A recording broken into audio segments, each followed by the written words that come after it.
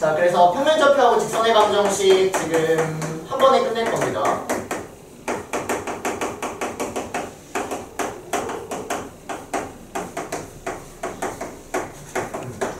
자, 근데 선생님이 여러분들 어느 정도는 알고 있다라는 가정하에 넘어갈 거야. 그래서 지금 저 개념 파트를 지우지 않고 넣어놨거든? 쭉 보세요. 점과 점 사이의 거리 모르는 사람 없을 것 같고 내분점 공식, 외분점 공식 모르는 사람 없을 거라고 믿어. 하지만 여러분들 외분점 읽는 것만. 이거만 한번 좀 체크를 하자. 선분 AB를 2대 1로 외분. 1대 2로 외분.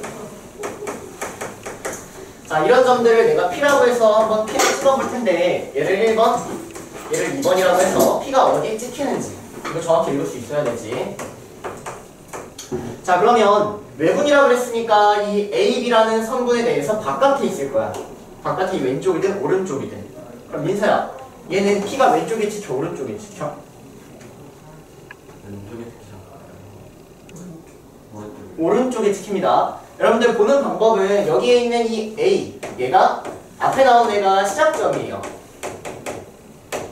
여기에 있는 이 B가 끝나는 점 종점이라고 보시면 돼. 자 그러면 A에서 시작해서 2고 B에서 끝날 때 1에서 끝나야 돼.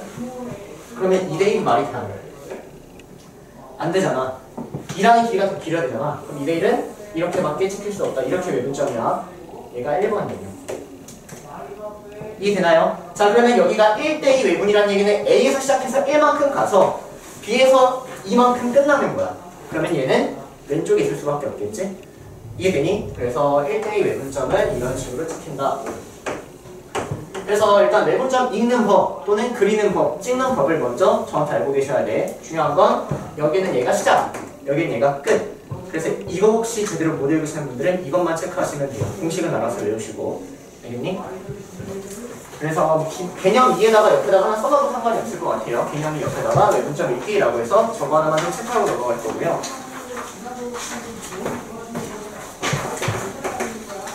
자, 그 다음 개념 3.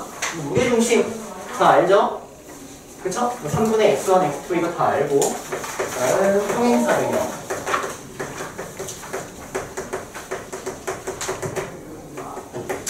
자, 여기 말은 뭐. 민서야, 네. 너가 하나 맞출 때까지 계속한다. 평행사 변형의 특징 알고 계시는 거. 그러면 특수하게 편행하고요. 네. 그럼 제가 알기로 이게 대각선이 있는 거 아, 오케이, 좋아요.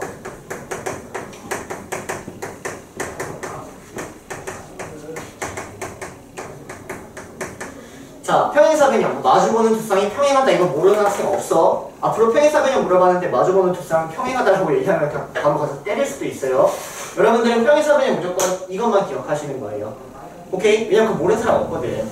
자, 그래서 대각선이 서로를 이등분한다라는 얘기는 평행사 변형이 이렇게 있는데 대각선이 서로를 이등분 얘가 서로를 2등분, 얘가 서로를 2등분 이렇게 처리가 되는 거야. 자 그러면 문제에서 2등분이 나오면 여러분들이 활용하는 거는 항상 2등분은 중점을 활용하는 거예요. 오케이? 문제에서 수직이 나오면 수직은 기울기의 곱이 마이너스 1이다를 활용하지 그래서 2등분이 나오면 중점을 활용하는 거고 수직이 나오면 기울기를 활용하는 거야. 오케이? 그래서 평행사 변형에 대한 문제를 풀 때는 대각선이 서로를 2등분 또는 문제에서 2등분 보이면 무조건 중점을 계속 생각을 하셔야 돼. 그래서 2등분은 중점으로 활용이 된다. 됐니? 자, 그 다음. 마르모의 특징. 이것도 두드려 맞아. 뭐, 내변이 같다라고 얘기하는 순간 두드려 맞아요. 다 알죠? 그쵸? 대각선이 서로를 수직 2등분한다. 그것만 기억하시면 돼. 자, 그래서 얘는 대각선이 서로를 수직 2등분한다. 자, 그러면 여기에서 수직 이등분이라는 건 여러분들 어떻게 읽어주셔야 되냐면 식을 두 개 줬다라고 읽는 거야. 다시 수직 이등분은 식을 두 개 줬다라고 읽어줘야 돼. 그래서 수직 조건 하나에 대한 식을 주고 있는 거고 이등분 하나의 조건 식을 주고 있는 거다. 문제에서 수직 이등분이라고 나오면 굉장히 많은 조건을 사실은 주고 있다라는 거예요. 무슨 말인지 되시죠? 그래서 문제 풀면서 왜 이렇게 읽어야 되는지는 차근차근 설명을 할 거야. 그러면 수직은 기울기를 활용하는 거고 이등분은 중점을 활용한다. 그래서 수직 이등분은 식을 두 개 준 것이다 라고 생각을 해주셔야 된다는 거지. 됐죠? 그래서 여기까지가 도형에 대한 특징 넘어가고요. 자, 그 다음 옆에 개념 4 개념 4 잠깐 갑니다. 개념 4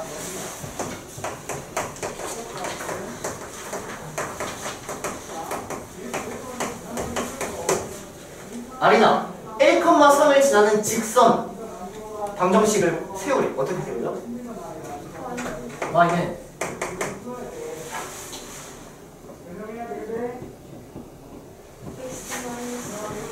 기울기 알아보자 오케이 a 뭐 x 마이너스 x 마이너스 1 더하기 3 이런 식으로 세워주셔야 돼요 추워? 아 괜찮아? 어. 자 일단 1,3을 지나는 직선은 기울기만을 가정해서 세워줘야 된다 이게 일단 가장 중요합니다 두 점이 나왔을 때 직선의 방정식 세우는 방법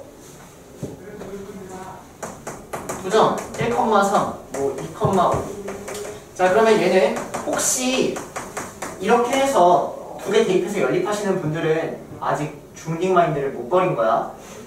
오케이? 그러면 고등으로 못 넘어간다. 그렇게 세우지 마세요 절대로 제발. 알겠니? 자 이렇게 세우 세우 대입할 게 아니라 기울기를 구한다. 자 기울기를 구하면 2-1분의 5-3 그리고 1,3을 지난다. 기울기가 예고 1,3을 지난다. 이렇게 세워주시던지 기울기를 구하고 선생님 1,3이 아니라 얘를 지난다고 해도 되는 거 아니에요? 2,5를 지난다. 이렇게 구하셔도 아무 상관이 없다. 정리하시면 똑같은 식이 나와요. 이해돼요? 그래서 혹시 이렇게 계속 하시는 분들은 제발 하지 마세요. 알겠니? 선생님 이거 좀 강조한다. 이렇게 하시는 분들은 하지 마. 알겠죠? 그래서 두 점이 나오면 기울기에 대해서 얘기할 수 있고 점을 지난다라고 해서 이런 식으로 직선의 방정식을 세워주셔야 된다. 됐어요. 오케이. 그리고 이 왼쪽은 질문입니다. 되게 알아서 하시면서 따라오세요.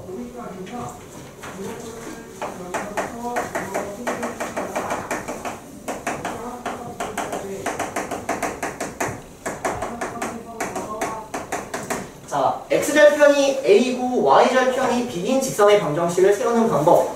이번 내신 때는 제발 좀 암기를 좀 하자. x절편이 a고 y절편이 b인 직선의 방정식은 이렇게 한 번에 간단하게 세울 수 있어. 이거 보면 x절편이 a라는 얘기는 a, 0을 지난다는 얘기지. y절편이 b라는 얘기는 0, b를 지난다는 얘기지. 얘 봐봐 a, 0 지나가죠? 0, b 지나가죠? 오케이. 그래서 두 개의 절편을 알고 있을 때는 바로 세울 수 있어야 돼. 이거 두 개 나왔는데 이렇게 간다? 시간 낭비고 저기 문자가 분명히 나올 거거든 A, B가 이렇게 세우다가 시간 막 다 버려요. 그럼 이번에 느꼈겠지? 이번 내신 고등 내신의 시간 싸움이 굉장히 크단 말이야. 저렇게 시간 절약할 수 있는 건 꼭 외워주셔야 되는 거야. 됐죠? 자 그래서 예를 들어서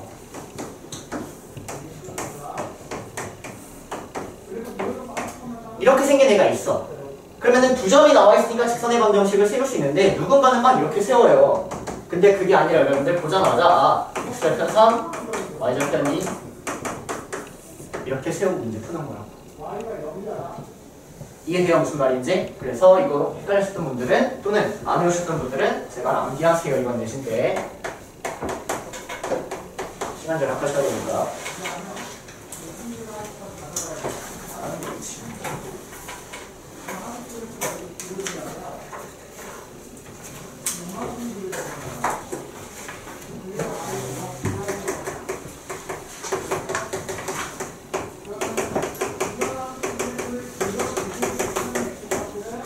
자, 한, 한장 옆으로 넘어가 볼까요? 음, 넘어갔어. 자, 개념 6번 봐봐. 개념 5번 보기 전에 개념 6번 먼저 보세요. 자, 두 개의 직선이 평행할 때는 m하고 m' 같고 n하고 m' 다른 거 예측하 내려도 괜찮겠지? 두 직선이 수직이면은 기울기의 곱이 마이너스 1인 거. 괜찮? 자, 그 아래 이 두 직선에 대해서 얘네가 평행할 때와 얘네가 일치할 때와 얘네가 수직일 때 그리고 한 점에서 만날 때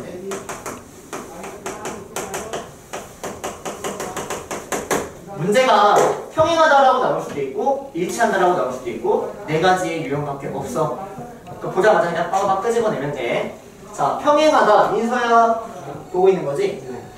지우야, 평행하다는 얘기는 여기서 뭐가 같다는 얘기일까? A 프라임 분의 A랑 B 프라임 분의 B가 같다는 얘기야. 오케이? 하지만 C 프라임 분의 C는 달라야지 평행하다는 거.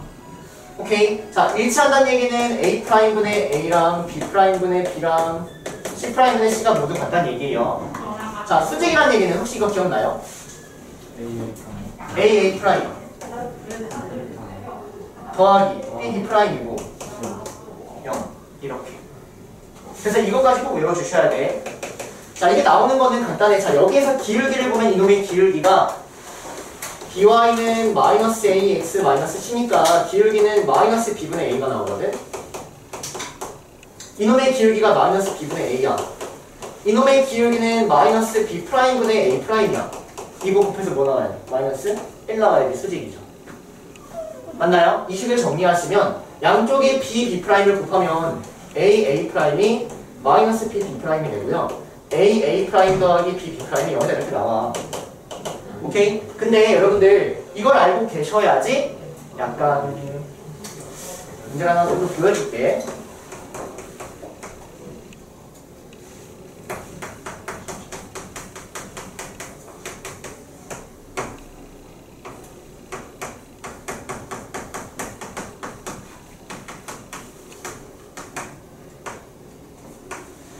자, 이렇게 두 개인 직선이 있어.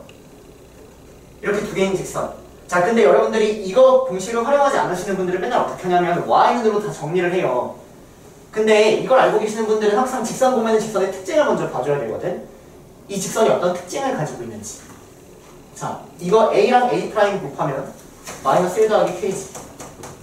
b랑 b 프라임 곱하면 1 마이너스 k지. 뭐야? 0이지. 이걸 한번 보자마자 아, 두 직선의 특징은 수직이구나라고 읽어주셔야 돼. 이거를 언제 y는에서 정리할 생각을 너네가 애초에 안 해. 안 한다고. 오케이? 그래서 직선을 보면은 그냥 직선의 특징들, 직선의 특징들, 위치 관계들을 좀 읽어주셔야 되는데 이걸 알고 계셔야지 이런 애들이 계속 수직인 형태로 좀 잘 읽힌다는 거지. 이해돼요? 그래서 꼭 필요한 놈이야. 자, 한 점에서 만난다는 얘기는 뭐야? 성유야, 한 점에서 만난다는 얘기는 뭐야? 두 직선이 언제 한 점에서 만날까?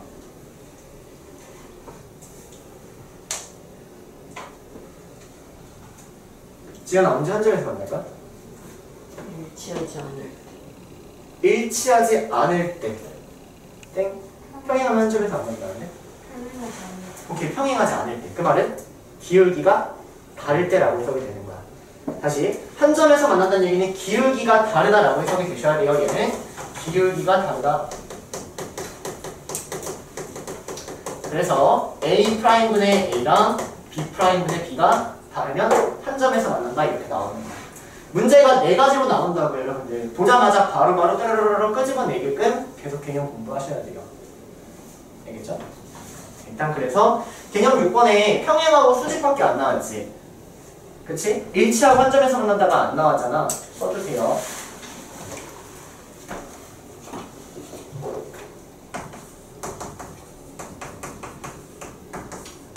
자 그러면은 직선을 지금 두 개의 형태로 보고 있는데 여기에서 일치한다는 얘기는 m하고 m 프라임, n하고 n 프라임이 같으면 일치한다는 얘기지? 맞아? 한 점에서 만난다는 얘기는 m하고 프라임이 다르면 한 점에서 만난다는 얘기. 되니? 거기까지 일단 개념 6까지 정리.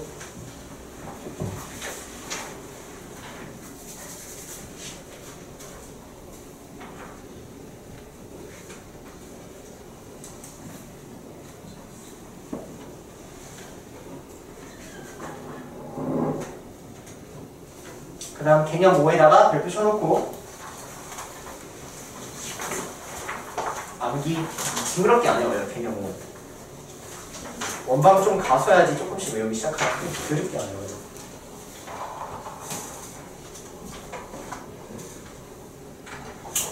개념 5에 별표 쳐놓고 암기 그 다음에 보여줄게요.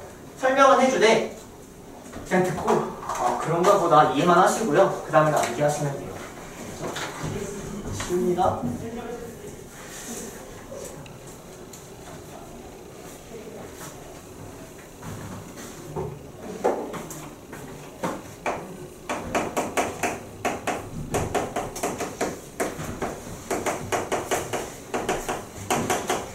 이해 못하면 상관없어.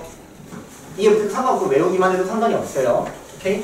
자, 지금부터 볼 거는 뭐냐면 이 직선하고 이 직선이 뭐 이렇게 이렇게 나와 있겠지. 근데 두 직선의 교점을 지나는 직선을 보고 싶다는 얘기예요. 두 직선의 교점을 지나는 무수히 많은 직선들이 있겠지. 그치? 자, 봐봐. 만약 여기에 대한 교점이 1,3이 나왔다면 여러분들 이 직선의 방정식대로 어떻게 세울래? 1,3을 지나는 직선이다 라고 생각을 하니까 이렇게 세우겠죠.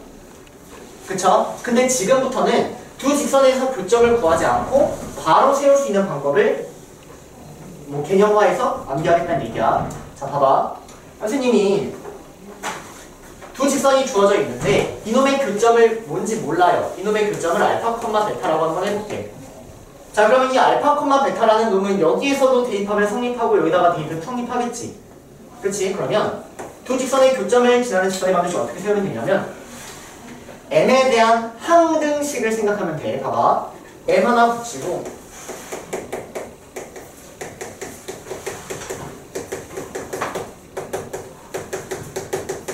한쪽에 m을 붙이는 거예요. 자, 왜냐면 내가 이런 식으로 세워버리면 얘는 무조건 알파, 콤마, 베타를 지날 수밖에 없어. 왜냐면 알파, 콤마, 베타를 여기다 대입하면 뭐가 나와야 돼? 0이 나오겠지? 여기 위에 점이니까.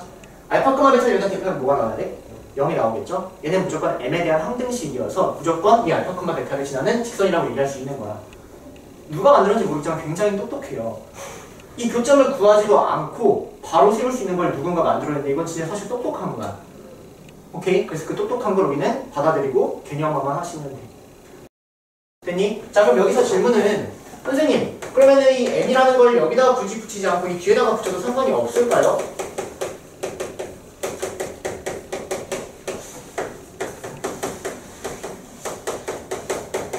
이렇게? 상관이 있을까 없을까? 없겠지. 왜냐면 여기다가도 알파, 콤마, 베타 대입하면 0 나오고 0 나오니까 무조건 성립하겠죠? 그래서 여러분들 입맛 따라 편한 쪽에 붙이시면 되는데 문제 푸실 때 어느 쪽에 붙여야지 편하겠다라는 느낌은 여러분들이 직접 느끼셔야 돼요. 이해돼요 무슨 말인지? 그래서 한쪽에다가 m이든 k든 뭐, 뭐 알파든 뭐 베타든 아무거나 문자 잡아서 세워주시면 된다. 제발 암기. 이해돼요? 오케이? 자 그러면 여기에서 여러분들 봐봐. 조금만 더 나아간 게 뭐냐면 얘가 원이 나오고 얘가 원이 나와. 또는 얘가 포물선이 나오고 얘가 직선이 나오거든? 하지만 상관없어. 얘가 포물선이 나오고 얘가 직선이 나온다고 하면 어차피 교점 알파 콤마 베타라는 애가 있겠지. 그냥 한쪽에 m을 붙였다고 생각을 해봐. 그럼 걔도 알파 콤마 베타 지나고? 얘도 지나겠죠? 그래서 두 원의 교점을 지나는 원이든 두 원의 교점을 지나는 직선이든 그냥 한쪽에 m만 붙여주시면 되는 변화가 없다 됐어요? 아, 선생님 무슨 말인지 모르겠는데요? 괜찮아요. 외우세요. 알겠니? 전혀 지장이 없어요. 알았지? 자, 그래서 이런 식으로 정리가 된다. 여기까지가 다 그냥 5번. 끝이야, 얘들아. 이건 7, 8이 끝이에요. 자, 기념 7번. 점과 직선 사이의 거리 공식 모르시는 분들은 그냥 외워주시면 돼요. 오케이?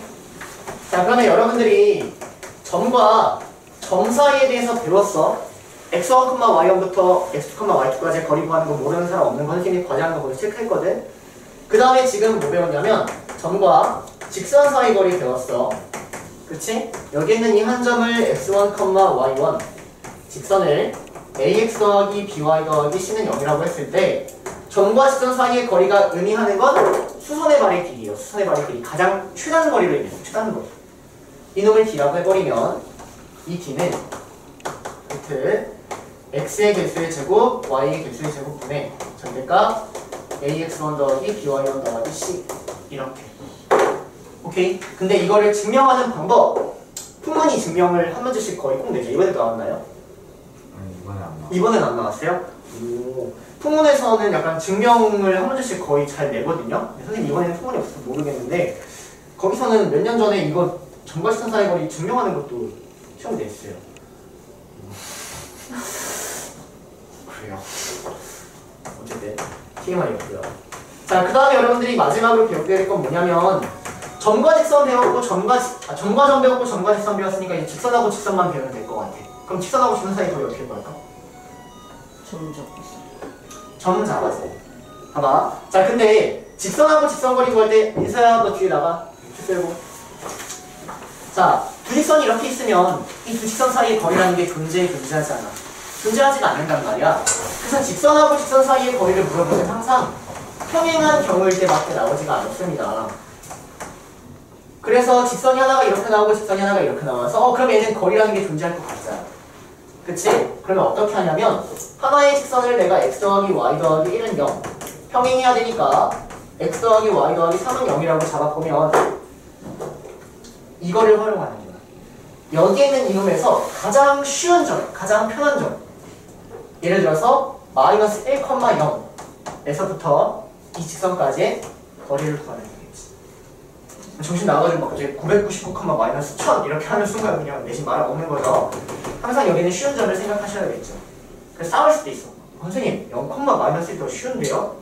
한번 해보자는 얘기지. 그렇지? 그러니까 가장 여러분들 생각해서 쉬운 점을 가지고 정말 지상 사이의 거리를 구해주시면 된다는 거죠. 굳이 공식을 외울 필요가 없다. 오케이. 그래서 지금 개념 7에 보면은 1등급 팁 이렇게 나와 있죠. 그쵸? 그래서 걔는 평행한 두 직선 사이의 거리를 공식화해서 해놓은 건데 굳이 필요가 없습니다. 알겠니? 저건 뭐 시간 단축 그런 것도 딱히 아니고요. 필요 없으니까 그냥 점에서부터 직선까지 거리로 생각해 주시면 될 것 같아요. 됐지요? 지워도 해요.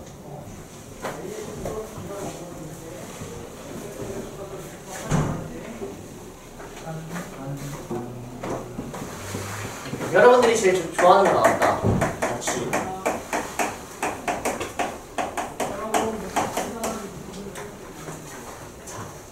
벌써 막 인상 쓰지 마세요. 자취 싫어하는 거 알아요. 인상 쓰지 마세요. 알겠죠? 자, 보자. 자, 그러면 자취의 방정식을 구하는 파트는 선생님이 봤을 때 첫 번째로는 가장 기본 문제가 있고요. 두 번째로는 저 기본에 대해서 기본 응용 문제가 있고요. 세 번째가 이제 완벽한 심화 문제가 있거든. 봐봐. 기본 문제 어떻게 푸시면 되냐면 x, y에 대해서 뭐 구하고자 하는 점을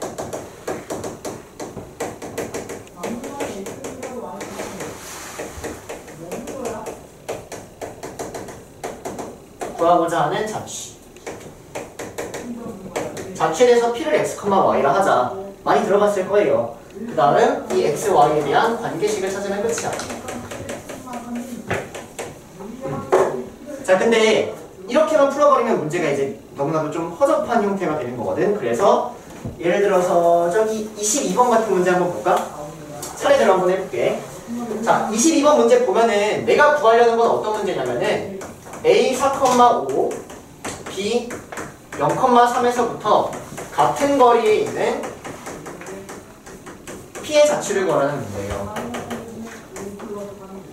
그쵸? 자 그러면 나는 내가 구하고자 하는 거는 이 P의 자취니까 내가 구하고자 하는 P를 x, y를 한 다음에 x, y에 대한 관계식을 찾으면 끝이야.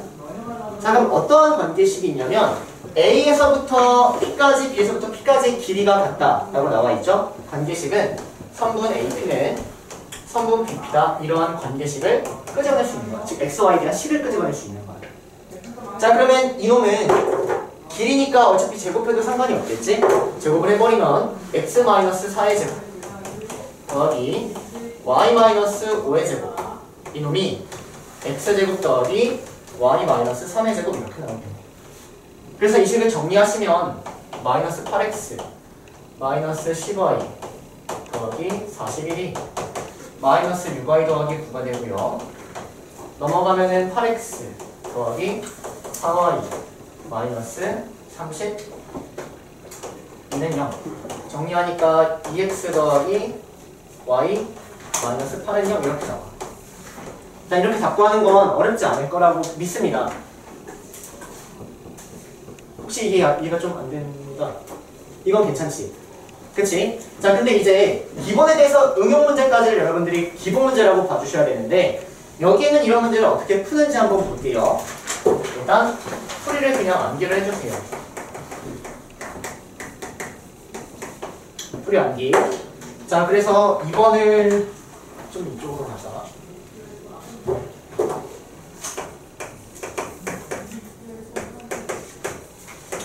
자, 첫 번째는 똑같아. 구하고자 하는 점 P의 가치를 x, y라 하자. 두 번째, 이제 응용 문제는 P라는 점만이 존재하는 게 아니라 P라는 점 이외의 점이 항상 존재를 하거든. 이외의 점? 문제 보면 알 수 있어. 그래서 그 이외의 점이 항상 존재를 할 거야. 이외의 점 Q를 A, B라 하자. 그 다음 세 번째 스텝이 뭐냐면요. A, B에 대한 관계식을 먼저 찾는 거예요. A, B에 대한 관계식.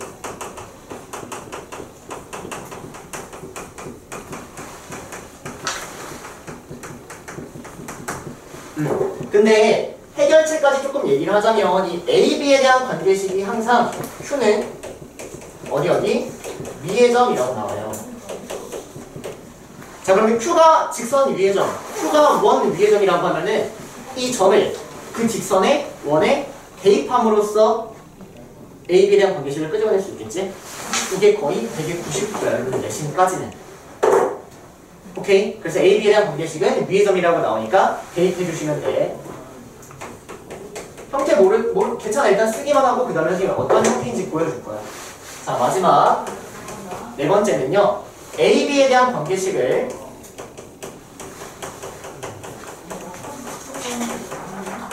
X, Y 관계식으로 바꾼다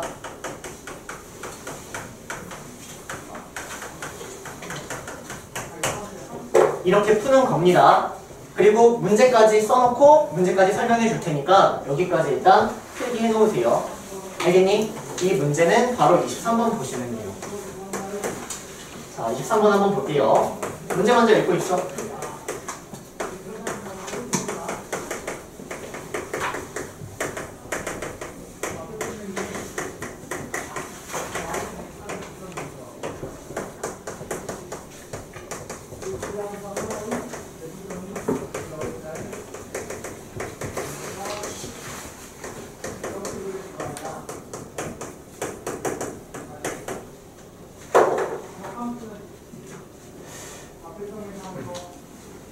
자, 얘들아 풀어볼게. 자, 간다. 자, 일단 첫 번째가 뭐냐면 내가 구하고자 하는 점 P의 자체를 x, y라고 하자 그랬지. 그럼 내가 구하고자 하는 점은 여기서 이 P지.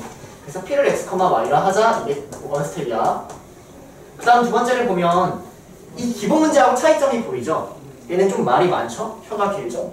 그쵸? 자 그럼 얘는 이외의 점 여기 위의 점 B라고 나왔는데 이 이외의 점이라는 애가 B라는 애가 있단 말이야 그래서 B를 A, B라고 하자 얘가 이라는 얘야 됐니? 자 세 번째는 A, B에 대한 관계식을 끄집어내라 그랬지 그래서 A, B에 대한 관계식을 끄집어내보려고 봤더니 어 얘가 위의 점이라고 나왔지? 그러면 대입해서 끄집어내면 돼 됐어요? 자 그럼 네 번째는 이제 이 A, B를 X, Y만 열심히 바꿔주시면 돼요. 자 그럼 이제 주어진 A, B를 X, Y로 어떻게 바꾸냐 문제를 보면 음, A라는 점이 2,1이고 B라는 점이 A, B인데 얘네를 이대로 내분하는 점이 X, Y라고 나와 있는 상황이잖아 그치? 자 그러면 내분하는 점을 먼저 구해보면 이 X, Y라는 이 점은 내분점 그대로 공식 써 3분의 2a 더하기 2, 3분의 2b 더하기 1 이렇게 쓸 수 있겠지? 3,1이 아 여기가 3,1이야? 네? 그럼 2a 더하기 3 그리고 2b 더하기 1 이렇게 나오겠네? 맞니? 자 그러면 여기에서 2a 더하기 3이 아, 다 써줄게 x는 3분의 2a 더하기 8 이렇게 나오고요 y는 3분의 2b 더하기 1 이렇게 나와요 맞아? 그러면 여기서 a를 x로 바꿀 수 있겠지 이 a가 여기다 쓸게요 미안합니다 3x 마이너스 8이고 이 b가 3y 마이너스 1이야 그러면 여기서 a 대신에 x를 대입하고 b 대신에 y를 대입하면 x, y랑 관계식이 왜 어떻게 나타나? 8이에요? 어? 왜 8이에요? 왜 x가 3분의 2 플러스 8이에요? 왜 이거냐고요? 왜, 네, 왜 8이 나와요, 뒤에? 여기 3이라고 썼는데 얘가 왜 8이냐고요? 네. 감사합니다. 너의 집중력을 테스트하는 거예요. 아주 좋았습니다. 자, 그래서 여기가 마이너스 3 이렇게 되니 그래서 어쨌든 A, B 대신에 이놈들을 대입하면 걔가 답이다라는 거야. 그래서 여러분들 주어진 이 포맷, 이 형태 얘를 좀 이번 내신 때는 기억을 해주시고요. 앞으로 일단 이렇게 풀 거예요. 됐어요? 그래서 일단 1번, 2번 먼저 정리. 공식. 답까지 구해볼게. 자, 그럼 여기 2a 대신에 3x-3을 대입하고 b 대신에 2분의 3y-1을 대입해야겠지? 이렇게? 맞아. 자, 근데 문제를 보면 px 더하기 3y 이렇게 되어 있죠. 그 말은 여기 양쪽에 두 배를 해달라는 얘기지. 3y가 나와야 되니까. 그럼 여기 양쪽에 두 배를 하면 답은 얘들아 여기 잘리는 게 여기다 할게. 알겠지? 두 배를 하면 6x-6 더하기 3y 마이너스 1 마이너스 10은 0이 나오고요. 정리하면 6x 더하기 3y 마이너스 17은 0. 그래서 얘가 p, q 이런 식으로 되죠.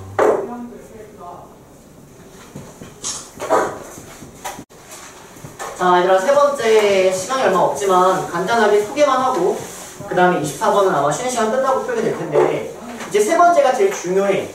그래서 여러분들이 이제 문제를 풀 때는 자취 문제는 두 가지가 있는 거야. 기본 문제, 응용 문제가 있는 거고요. 그 다음에 세 번째 심화 문제밖에 없어요. 자, 그럼 심화 문제는 어떤 게 심화 문제냐? 문제에서 주어진 자취를 파악하여 문제 해봐요.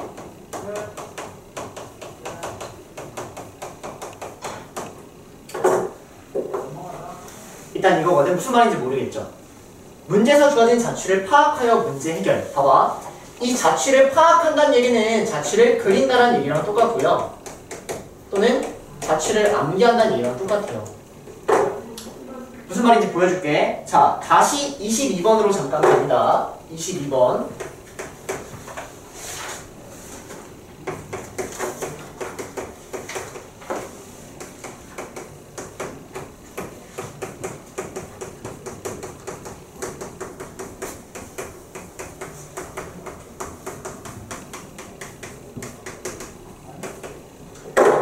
자, 볼까요? 자, 일단 이 22번을 여러분들은 아까 1번처럼 풀었을 거야. 1번과 같은 풀이 P를 X, Y라고 잡고. 하지만 선생님은 그렇게 풀지 않고요. 3번 풀이로 풀어요. 심화풀이. 심화풀이가 뭐였냐면 점의 자취를 파악하여 문제를 푼다라고 했거든. 봐봐. 이놈의 자취를 파악을 한번 해보면 A, B로부터 같은 거리에 있대. 9점으로부터 같은 거리에 있는 자취를 한번 파악을 해볼게. 자, A가 여기 있고 B가 여기 있어. 그럼 P가 어디 있을까? 같은 거리에 있어야 되니까 뭐 제일 쉬운 점을 한번 생각을 해보면은 여기 중점일 때가 있겠죠. 그리고 이렇게 이등변 삼각형을 한번 생각해보면은 여기 길이가 같으면 이런 데도 있겠지. 이런 P들을 쫙 모아보면은 얘네가 전부 다 P가 될 수 있거든. P의 자취를 파악하니까 P는 A, B에 뭐라고 얘기할 수 있을까? 여기는 당연히 이등변 삼각형의 중 선을 가리니까 수직이겠지? P는 A, B의 수직이 된 분선이라고 읽을 수 있는 거야.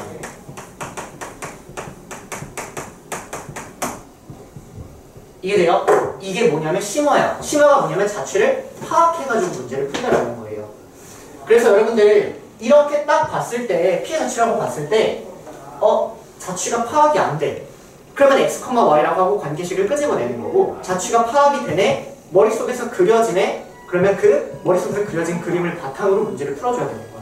이런 게 심한데 여러분들이 자취를 파악을 못해. 못해.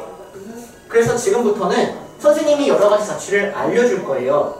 그럼 여러분들이 그거를 기억하고 암기해서 내가 파악할 수 있는 자취의 형태를 늘려나가는 거예요. 그 중에 첫 번째가 얘야. 파악하는 자취 제일 쉬운 거. 자 그럼 이 문제 풀고 쉬는 시간 좀 더 줄게. 자 봐봐. 그럼 이 문제를 이제 어떻게 풀면 되냐면 내가 자취를 파악했으니까 여기가 4,5고 여기가 0,3이거든. 그러면 수직이 된 분선을 구하면 걔가 자취의 방정식 끝인 거야. 자 그럼 수직 이 등분선은 첫 번째 수직 조건 하나, 두 번째 이등분 조건 하나. 수직은 기울기를 활용, 이등분은 중점을 활용. 자 이등분은 중점을 활용하니까 중점을 구해보면 2,4가 나오죠. 그 다음에 수직이니까 기울기를 활용하면 이놈의 기울기 뭐야? 4 증가할 때 2 증가하니까 기울기가 2분의 1이거든? 그럼 이놈의 기울기는 뭐여야 돼?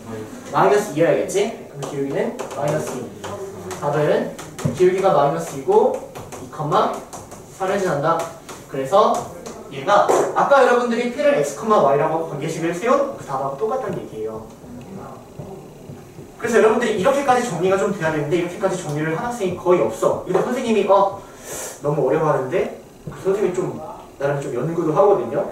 그래서 이렇게 하면 좀 낫지 않을까라고 해서 정리를 해준 거예요. 그래서 여러분들은 여러 가지 자취 선생님이 좀 알려줄 때마다 계속 쓰고 계속 파악하려고 하고 계속 머릿속에서 그려보고 그래서 문제를 푸는 거 이게 심화 마지막 단계야 이게 되지? 여기까지 일단. 자 그러면 24번 한번 풀어볼게요 여러분들. 2x 더하기 5y 더하기 3은 0 5x 마이너스 2y 마이너스 3은 0 이놈이 두 직선이 이루는 각을 이등분하는 직선 이렇게 나왔어요. 근데 이놈의 방정식을 구하라. 이걸 구하라 이 문제거든. 얘가 무슨 문제냐면 자취에 대해서 심화 문제예요. 왜냐면 여러분들이 여기서 내가 구하고자 하는 이 직선의 자취를 P를 X, Y라고 해서 XY에 대한 관계식을 찾으면 좋을 텐데 관계식이라는 게 보여 안 보여요? 안 보이죠? 자취를 떠올려서 그 자취를 바탕으로 문제를 풀어주는 심화 문제예요. 그러니까 정확하게 구별을 좀 해줘야 돼. 자 그럼 이 문제의 자취를 선생님이 설명해 줄 테니까 여러분들은 정리하고 외우셔야 돼. 알겠니? 자 간다. 두 개의 직선이 있어요.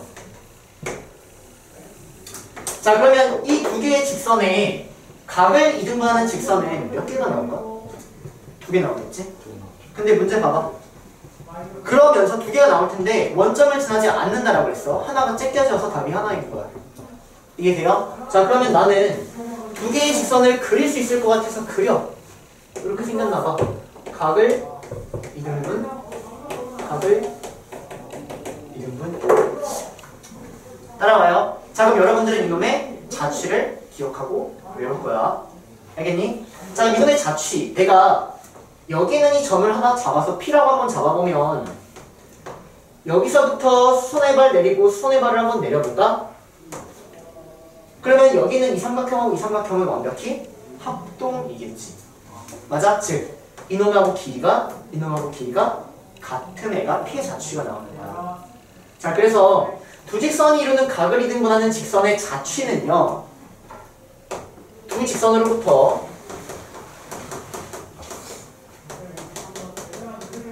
같은 거리에 있는 P의 자취랑 똑같이 그려져서 이런 식으로 생각해서 이제 자취를 기억하는 거야 바꿔서. 왜냐면 여기 여기 있는 이 점들은 모두 여기 있는 길이랑 이 길이가 다 똑같겠지. 계속 합동의 삼각형이 나오니까. 그래서 이 자취를 여러분들은 이제 이런 식으로 바꿔서 읽어내야 된다는 얘기예요 왜? 이런 식으로 바꿔버리면 이제 관계식을 세울 수 있거든. 이제 관계식 세워서 문제 풀어볼게. 자 그러면 내가 이 P의 자취를 구하고자 하는 자취를 x, y라고 하고 x, y에 대한 관계식을 찾으면 되는 거야. 그러면 관계식이 어떤 관계식이 나오냐면 주어진 이 직선을 L 주어진 이 직선을 M이라고 해보면 이 L에서부터 P까지의 거리와 이 M에서부터 P까지의 거리가 같다라는 관계식이 나온다는 거지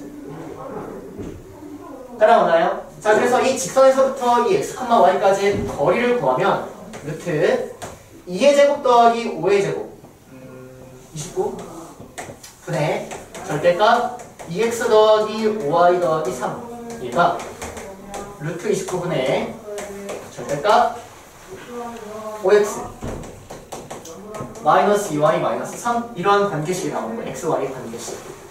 그러면 루트 29 루트 29 지워지고 절대값은 절대값 어떻게 풀어? 양쪽이 절대값이 있는 풀이 어떻게 돼? 거의 땡. 여기서 하나 또 정리하셔야 돼요. 이거 또- 또한, 또한 정리하셔야 돼. 절대값 A는 절대값 B. 이놈에 대한 풀이는 A는 얼마? A가 B여도 되고 마이너스 B여도 된다. 양쪽에 절대값이 주어져 있으면 이거에 대한 풀이 정리하세요. 아 맞아. 이거 아니야. 너네 모르는 거야. 착각하지 마. 지금 바로 안 나오면 모르는 거다. 자 그래서 절대값은 절대값에 대한 풀이는 바로 이제 첫 번째 2x 더하기 5y 더하기 3이 5x 마이너스 2y 마이너스 3이라는 얘가 답이 될 수도 있고요. 두 번째로는 2x 더하기 5y 더하기 3이 한쪽에 마이너스가 붙어서 이런 애가 답이 될 수도 있다는 거지. 됐어요? 자 정리하시면 3x 마이너스 7y 마이너스 6은 0 정리하시면 7x 더하기 3y는 0 하나가 얘고.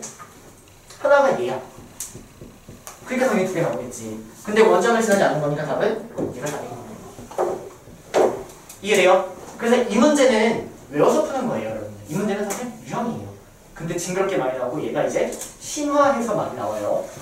그래서 여러분들 이 문제는 별표 다섯 개 쳐놓으시고 문제를 그냥 다다 외워도 상관이 없어.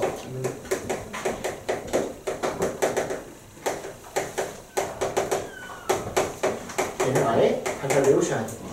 두 직선의 각을 이등분하는 직선의 자취는 자취는 두 직선으로부터 같은 거리에 있는 피의 자취랑 똑같다. 이런 식으로 바꿔서 문제를 풀어주셔야 된다는 거죠. 정리 끝. 자, 첫 번째 각을 이등분하는 삼각형.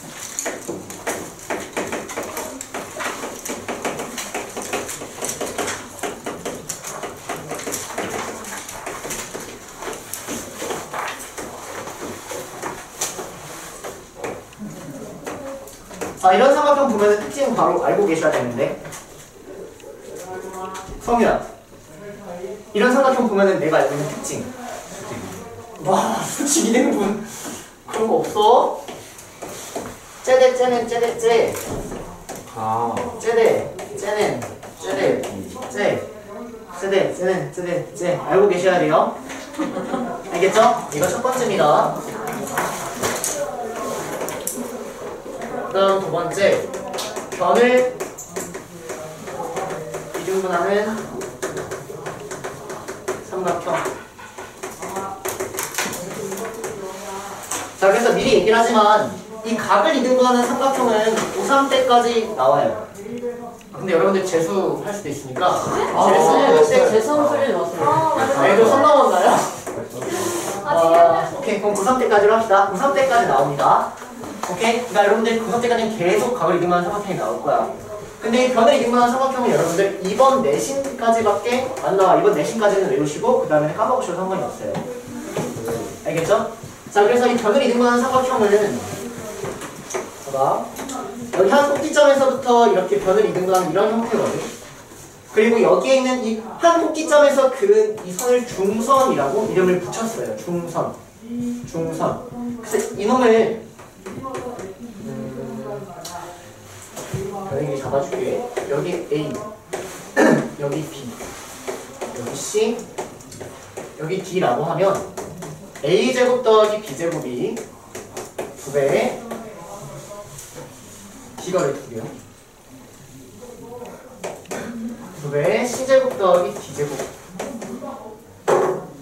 이러한 형태를 만족시킵니다. a제곱 더하기 b제곱이 두 배에 c제곱 더하기 d제곱 그럼 파푸스의 중성점이라고 해요. 그래서 얘를 파푸스의 중성점 선생님이 준 프린트의 뒤쪽에 빈 공간 많지? 거기다가 쭈르륵 필게 나오면 돼.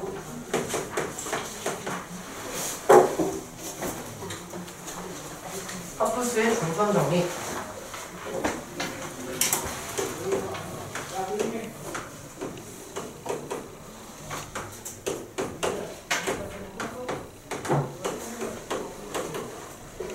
자, 봐봐. 자, 그래서 여러분들 이번 내신 때 여러분들이 착각해야 되는 착각하는 게 뭐냐면 우리가 여기 직각 주고 여기 3하고 4라고 주지 여기를 줘 안 줘 문제에서 안 주지 근데 여러분들 여기 3하고 4 나오면 여기가 몇인지 그냥 보이죠 5라고 이거는 무슨 정리야? 피타고라스 정리지 그치? 근데 너네가 이 피타고라스 정리를 가지고는 이게 왜 바로 보이냐면 문제를 몇백 문제, 몇천 문제를 풀어왔어요. 그 지각 보면은 본능적으로 이게 따rak 이게 써주지도 않아서 보인단 말이야. 근데 여러분들이 내신 때 이 파푸스를 중선형의 문제를 많아봤자 한 30문제도 안 풀거든요. 이 그림을 보고 이 길이를 줬다라고 생각해야 되는데 그게 잘 안 돼. 뭐가 안 되는지를 생각해야지 공부할 수 있겠지? 이런 그림을 보고 이 길이를 줬다라고 읽어줘야 되는데 너네가 이거를 줬다라고 읽지 않는다고. 이거는 줬다라고 읽는데 이건 줬다라고 안 읽어. 이 차이야. 그러니까 뭐를 어떻게 공부해야 되는지 여러분들이 지금 좀 정리를 하셔야 돼. 이해되니? 여기는 사실 주고 있다라는 거예요. 3의 제곱 더하기 5의 제곱은 2배 4의 제곱 더하기 x제곱이니까 이 x를 주고 있는 건데 주고 있다라고 잘못 읽는다라는 거. 이렇게 체크하시고 공부하시면 돼요. 이해되죠? 그래서 변을 이등분하는 삼각형이 나오면 변의 길이를 구할 수 있는지를 좀 확인해 주셔야. 그럼 여기까지 정리하시고.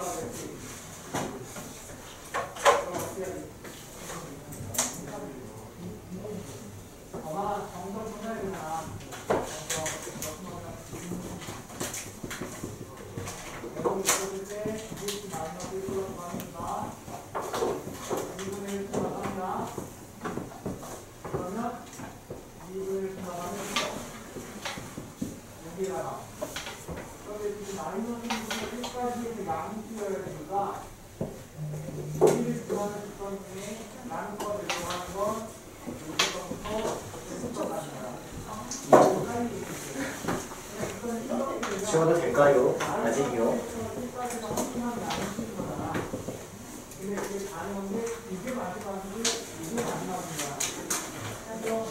줄게요. 잠시만요. 어! 되셨네요, 선생님.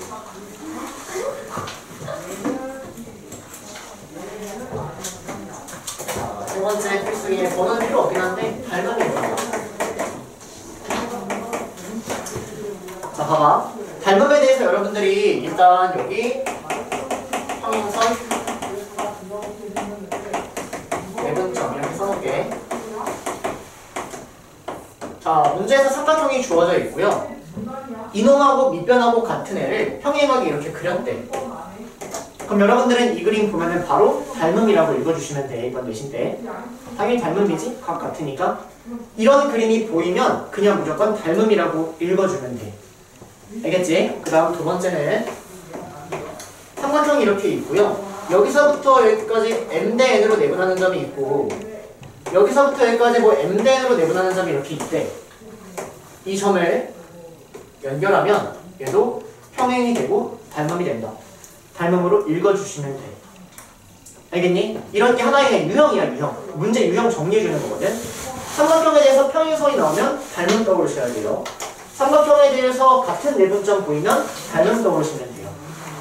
알겠죠? 그래서 이 닮음인 삼각형들 좀 먼저 정리를 한번 해주시고 선생님이 이에 따른 문제도 좀 같이 풀어줄게.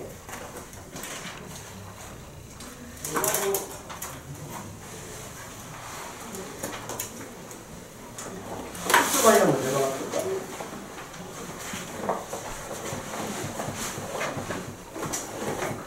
자, 퍼프스에 관련된 문제 먼저 좀 풀어볼게요.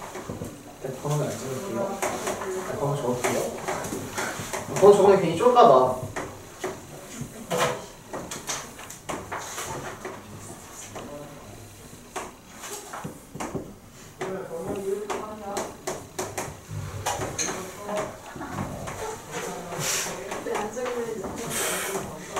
괜히 쫄아요.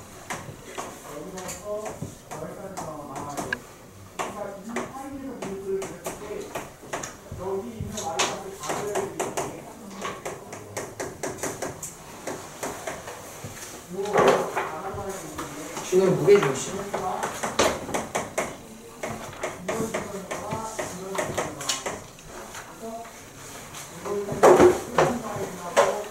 자, 보자, 얘들아. 지금 삼각형 ABC의 넓이를 구하라 이런 문제예요.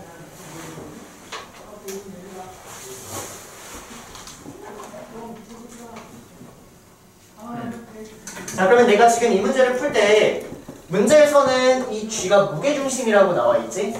그럼 혹시 무게중심의 정의가 뭔지 아시나요? 오케이 중선의 그렇죠. 교점 좋아. 오, 탄탄하네. 맨날 무게중심 뭐 하면 2대 1이요. 이거는 맨날 그러면 2대 1이면 그거밖에 대답 안 하네. 오, 좋아, 얘들아. 자, 그럼 얘는 이 무게중심의 특징을 살려보면 여기에는 얘가 당연히 중선이 될 거란 말이야. 그래서 이 길이랑 이 길이가 아, 같아질 거야. 그리고 여러분들이 그렇게 좋아하는 2대1을 활용하면 여기는 이 길이가 2루트 2가 나오겠지. 그러면 본능적으로 어? 여기에서 파푸스 삼각형이 돼. 이 길이를 알고 있는 건데 알고 있다고 생각을 못하면 못 푸는 문제고요. 이런 난이도 이렇게 잘 안 보이는 게 3스테이프인 거야. 이해되지? 그럼 나는 여기를 구할 수 있어. 여기를 구할 수 있어. 자, 이놈을 구해보면 2루트 3의 제곱 더하기 2루트 5의 제곱이 2배의 2루트 2의 제곱 더하기 x제곱 이렇게 따라오니까 정리하시면 12 더하기 20, 32가 2배의 8 더하기 x제곱. 지워버리면 16, x제곱은 8이네요. 네, 맞잖아 그렇죠. 그러면 여기가 2루트 2입니다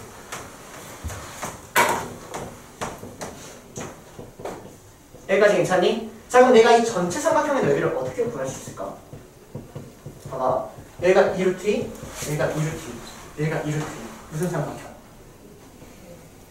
이성 이등변 삼각형 예. 그럼 이놈의 넓이 구할 수 있을까? 손에 발 내려서 피타 쓰면 넓이 나오지 음, 수선의 발 내려서 피타 쓰면 넓이 나오지 그럼 이 삼각형 구할 수 있지 전체 삼각형의 무게중심이래요 그 말은 이 삼각형 넓이와 이 삼각형 넓이와 이 삼각형 넓이가 이 넓이를 구하셔서 세 배 해 주시면 되는 거예요 이해돼요? 그럼 이 문제를 못 푼 이유는 뭘까? 첫 번째 무게중심이라는 걸 활용하지 않았다 오케이? 근데 그 다음에 막혀 이유는 무게중심이라는 걸 활용해서 중선을 찍었지만 파푸스 삼각형이 보이지 않았다 이렇게 두 가지예요 이해돼요? 오케이? 그래서 이게 스텝 3 문제라는 거 그래서 이거는 이제 다음 오답 프린트에 들어갈 거야 여러분들이 다음 주에 월요일에 오시면 이 문제 시험 봅니다 이해되죠? 어떤 식으로 진행될지 좀 감 잡았어? 지금? 어, 이렇게 그래서 670번 하나 문제고요 그 다음 한 문제 더 풀 거예요 그래서 이 문제까지도 다음 주 오답 프린트에 들어갈 거야 이게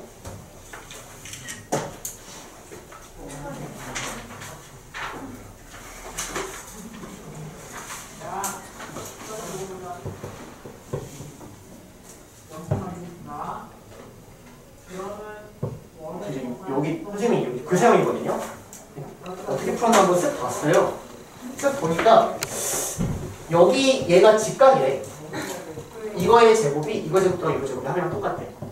그래서 넓이를 그냥 이렇게 보인다. 근데 이게 잘 안 보이지 않을까?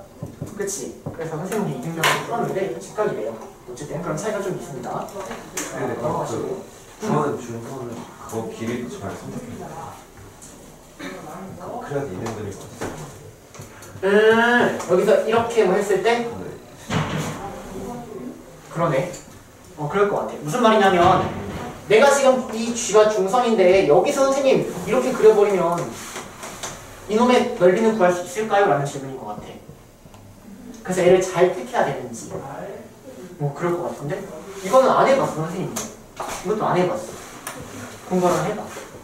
그리고 선생님, 여기서 넓이 구하는 법을 없을까요? 라고 물어봐. 선생님이 그때 한번 다시. 알겠지?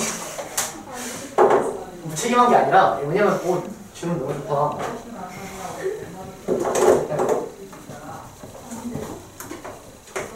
자, 그 다음은 668번입니다. 마찬가지로 3스텝이에요. 그래서 이 두 문제는 다음 오답 프린트에 넣어서 문제를 풀 거라는 거. 더러워 바빠 진짜. 어, 답이 좀 그렇긴 하네.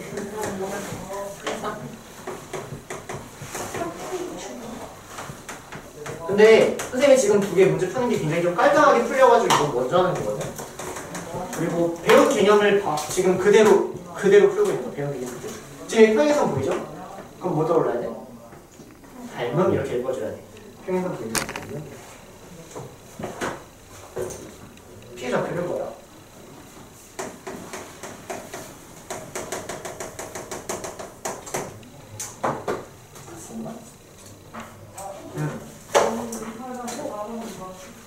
자 볼게요. 문제는 지금 피해 좌표를 구하라는 문제거든. 자 그럼 일단 여기 있는 이 그림을 가지고 먼저 떠올려야 될 거는 여기 평행이고 여기 평행이니까 닮음이다. 그럼 닮음일 때 활용하는 거는 뭐 얘대 얘는 얘대 얘랑 아 똑같겠지? 얘대 얘는 얘대 또는 얘대 얘는 뭐 얘대 당연히 알고 있는 것들이라 자 그러면 일단 여기서 내가 구할 수 있는 길이들을 먼저 한번 찾아보면 또는 닮은 B를 구할 수 있는지를 한번 찾아보면 나는 이 AC의 길이 구할 수 있지 이 AC의 길이 뭐 나와? 5 나오지 그치? 그러면 여기 여기 길이가 쌓였으니까 여기 몇 나올까? 5 나오지 그럼 내가 닮음을 활용할 거니까 닮음비를 찾는다고 생각하면 어? 여기 길이를 알거나 여기 길이 알면 닮음비 나오지 근데 여기 길이 알아 알지 두 점 나왔잖아 그럼 이 길이가 5의 제곱 10의 제곱 13 나와요. 자 그 말은 여기가 5대 13이라는 얘기 그럼 여기도 5대 13이겠지? 길이가 아니야. B로 얘기하는 거야. 따라오고 있니? 어 지원이 놓쳤어? 이해돼? 자 그럼 이 P라는 점은 BC를 내분 외분. BC 바깥에 있지? 외분. B에서 시작 13대 5로 외분하는 점. 이게 다 끝이야. P는 P는 성분 BC를 13대 5로 외분하는 점. 이게 끝이에요. 자 그럼 이런 문제 풀 때는 어떻게 하시면 되냐? 평행선이 보이니까 닮음을 활용하기 위해서 닮은 B를 찾아줘야 되는 거야. 그럼 다시 문제 접근해봐 닮은 B를 찾기 위해서 보면은 어 여기 일단 길이 같으니까 길이를 너네가 같다라고 체크를 해야 할 것 같아 5 찾았어 그럼 닮은 B 찾으려면 당연히 이 길이나 이 길이 보겠지 이 길이 나와 있으니까 14 아, 닮은 B 끝 P는 왜 문점 이해돼요? 그래서 이 3스텝 두 개 정리 한 번만 하시면 분명히 다음에 풀 수 있는 문제야. 이런 것만 테스트 볼 거란 말이야. 당분간은. 나중에 더 어렵겠지만. 오케이? 그래서 이렇게 두 개 정리하시면 끝입니다. 자, 남은 것들 바로 갑니다. 자, 이제부터 뭐 할 거냐면요. 에어컨. 에어컨 틀어줘. 외심. 내심. 무게중심. 수심. 구하기. 뭐부터 할까? 뭐부터 할까? 수심. 수심? 어? 수심이요. 수심이 뭐냐고요? 수선의 말의 교정을 수심이라고 해요. 그래서 수심이 교과과정에서 빠졌어요. 그래서 옛날에는 수심을 구하라고 나왔거든. 근데 요즘에는 수심이 교과과정에서 빠져서 새 수선의 발의 교점을 구하라 이렇게 나와요. 왜? 뺐는지 모르겠어요. 무슨 말인지 이해돼? 옛날에 그냥 수심 구하라 이렇게 나오고 지금은 새 수선의 발의 교점 구하라 이렇게 나와. 뭐, 뭔, 뭔 짓을 하고 있는지 모르겠지만 어쨌든 그래. 알겠니? 자 그러면 일단 첫 번째로 무게중심 구하는 거 이거 제일 쉬운 거 이것부터 좀 처리하자. 이미 공식 알고 있죠? 그래서 이건 좀 빠르게 갑니다. 일단 세점의 좌표가 주어져 있어요. 증명하실 줄 알아야 돼. 자 그럼 무게중심은 중선의 교점이니까 이렇게 이렇게 중선 되겠지? 그치? 그리고 중선의 교점이니까 이렇게 있으면 이렇게 이렇게 되겠죠? 그래서 이놈의 좌표 뒤에 보내야지. 자 그러면 첫 번째는 무게중심의 특징은 여기가 2대 1이란 말이야. 맞아? 자 그러면 나는 일단 여기는 이 좌표를 구할 수 있어요. 얘와 얘 이등분이니까 중점이지. 그래서 이 좌표가 2분의 x2 더하기 x3, 2분의 y2 더하기 y3야. 됐니? 자 그럼 내가 구하려는 이 점은 얘와 얘를 2대1로 내분하는 점이 되겠지? 그래서 무게중심 구하는 방법이 이게 끝이에요.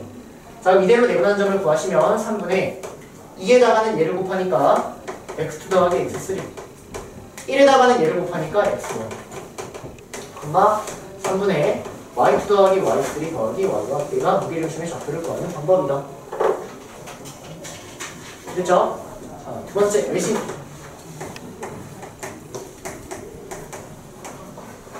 외심 구합니다.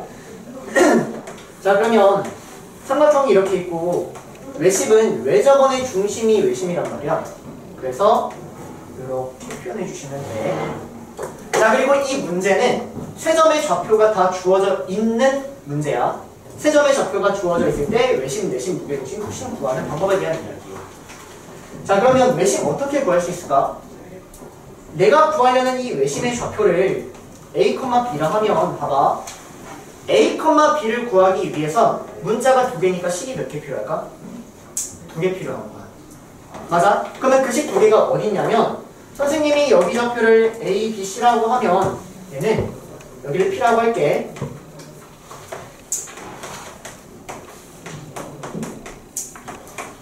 이 길이가 전부 같죠? 그래서 외심 구하는 방법은 선분 AP와 선분 BP와 선분 CP가 같아. 그럼 얘가 식을 몇개 주고 있는 거야? 두 개 주고 있는 거야. 등호 하나당 식 하나예요. 이렇게 하나 풀고 풀어서 연립하시면 됩니다. 이해돼요? 그래서 얘가 식을 두 개 주고 있다. 첫 번째 방법. 첫 번째 방법. 자, 두 번째 방법은 뭐냐면, 봐봐. 여기 지금 이 삼각형들을 보면은 이등변 삼각형이 세 개가 나왔단 말이야. 이등변 삼각형에서 제일 중요한 게 뭐냐면 수직 이 등분선. 이렇게 수직 이 등분선이 뭐 이렇게 존재하겠죠. 이렇게 뭐 존재하겠지? 여기도 수직 이 등분선이 뭐 이렇게 존재하겠지? 이렇게? 맞아? 그래서 여기에서 수직 이 등분선을 그리고 여기에서 수직 이 등분선을 이렇게 그리면 이 수직 이 등분선의 교점이 외심이 될수 있는 거야. 다시 여러분들이 원으로 가보자 원. 원의 중심 찾기 방법이 뭐냐면요. 현 두 개가 있으면 원의 중심 어떻게 찾냐면 이 현에서 선의 발을 아 수직이 등분선을 그리면 여기 어딘가 원의 중심이 있어. 이 현에서 수직이 등분선 이렇게 그리면 여기 어딘가 원의 중심이 있어. 그래서 여기 원의 중심이 있는 거야. 그거야. 그거야. 현, 현 있고 수직이 등분선, 수직이 등분선. 오케이? 그래서 두 번째 방법은 뭐냐면 각 변의 수직이 등분선의 교점.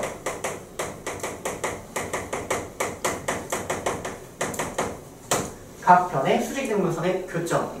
근데 사실 이 각 변이 의미하는 게 현이에요. 현. 원으로 빠져나가면 제가 현으로 바뀌어요. 현의 수직 등분선의 교점이 원의 중심이 되고 걔가 내- 외심이 되는 거야. 오케이? 그래서 거의 99.9% 1번 풀이로 풀려요. 근데 얘가 너무 복잡하면 2번 풀이를 좀 생각을 해주셔야 돼. 근데 얘는 그냥 도형적으로 좀 보려고 얘기를 하는 거예요. 그래서 여기까지가 외심. 해주시고 무기중심은 지우고요.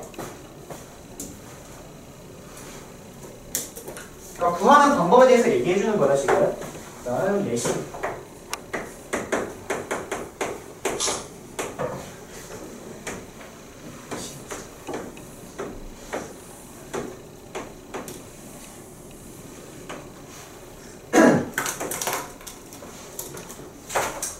자 봅시다. 자 그러면 일단 내심 접점 이어서 수직 표시 기본이고요. 자 그리고 여기 A, B, C라는 점의 좌표는 문제에서 주고 있다라고 생각해야 돼. 그 다음 여기는 이 피해 좌표를 A, B라고 할게요. 자 그러면 첫 번째 풀이는 뭐냐면요. 봐봐. 이 길이가 같잖아. 근데 이 길이가 뭐야? 직선에서부터 중심까지의 거리지. 맞아. 그래서 내가 이 직선을 L1, 이 직선을 L2, 이 직선을 L3라고 하면 L1에서부터 P까지의 거리와 L2에서부터 P까지의 거리와 L3에서부터 P까지의 거리가 같다. 그러면 얘도 마찬가지로 식이 두 개가 나와서 푸시면 돼. 자, 근데 얘는 식이 별로 안 복잡할 거야. 근데 얘는 점, 점, 점 나와서 이 점을 가지고 직선의 방정식 세우고 여기까지 거리 모여야 되거든. 굉장히 까다롭거나 복잡할 수가 있어요. 자, 그래서 이 문제는 이, 2번 풀이가 조금 더 대중적이고요. 2번 풀이가 그리고 내심 구하는 게 외심 구하는 것보다 훨씬 어렵다고 알고 계셔야 돼요. 내심이 외심보다 훨씬 어려워요. 오케이? 자, 그 다음에 두 번째 구하는 방법은 이렇게 삼각형, 삼각형, 삼각형 나눠보면 이 삼각형, 이 삼각형 합동, 이 삼각형, 이 삼각형 합동 이렇게 되죠.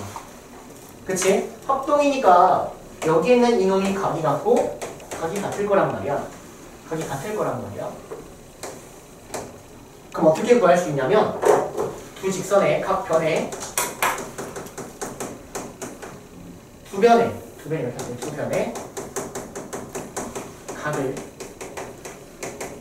이등분하는 직선의 그점 얘가 스텝 3에 있어요. 거의 10명의 학생 중에 8명, 7명이 못 풀어요. 시험 때도 못 풀어요. 오래 걸리기도 하고요. 까다롭습니다. 자, 어떻게 푸는지 선생님이 스케치 한번 해줄게. 봐봐. 점이 주어져 있어. 그럼 너는 이 직선의 방정식, 이 직선의 방정식 구할 수 있겠지. 두 직선의 각을 이등분하는 직선. 이거 아까 좀 전에 자취, 심화에서 배웠죠? 그게 기본 문제로 깔려요. 다시 두 직선의 각을 이등분하는 직선의 방정식, 자취의 방정식 구하는 거 좀 전에 배웠다고. 그게 기본 문제로 깔려. 그래서 얘는 이 두 직선을 구해서 이 자취의 방정식을 찾아주셔야 돼. 이 두 직선을 구해서 이 자취의 방정식 찾아주시고 그 중에 그것들의 교점을 찾아야지 예심이 나오는 거야. 이해되니? 자 근데 왜 까다로운지 한번 보자. 선생님, 이 두 직선 구하면 각을 이등분하는 직선의 방정식이 두 개 나오잖아요. 그러면 어느 게 이건지 어떻게 알아요? 그건 문제에서 기울기로 파악하셔야 돼요. 문제의 그림이 이렇게 주어져 있으면 하나의 기울기는 음수, 하나의 기울기 양수 나올 거란 말이야. 두개 구해서 기울기 양수인 거 택해 주셔야 돼요. 이게 일단 풀이 끝이에요. 어려워요. 실제 스텝 3에서도 난이도가 좀 있는 문제야. 그래서 내심 구하는 방법 두 가지인데 어떤 게 편한지는 모른다. 됐지?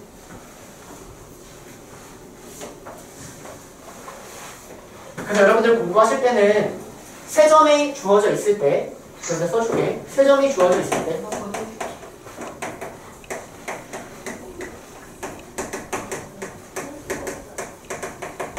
자, 세 점이 주어져 있을 때 내가 무게중심을 구할 수 있는지가 머릿속에서 풀이가 그려주셔야 되고요. 외심을 구할 수 있는지가 풀이가 그려주셔야, 그려주셔야 되고 외심, 수심까지도 풀이가 그려지셔야지 이 관련된 문제는 다 맞출 수 있는 거야. 그래서 도형 파트는 딱 달려가서 할 게 아니라 먼저 눈으로 다 푸신 다음에 달려가는 거예요. 알겠죠? 그래서 눈으로 좀 푸시는 문제가 많아져야 돼요. 그래야지 실력이 점점 더 여기까지가 내심, 외심. 마지막 수심하고 끝내면 될 것 같아요. 자 그러면 수심은 선생님이 그림 그릴 테니까 여러분들이 어떻게 풀면 좋을지 한번 먼저 떠올려 보시고 선생님이 풀이를 얘기 한번 해볼게. 자 수심은요 삼각형이 이렇게 있고요.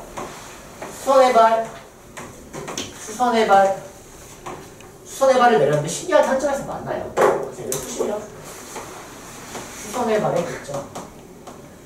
세 수선의 발의 교점. 수선의 합시다. 자 그리고 세 점의 좌표가 주어져 있어. 어떻게 구할지 한번 떠올려 볼래?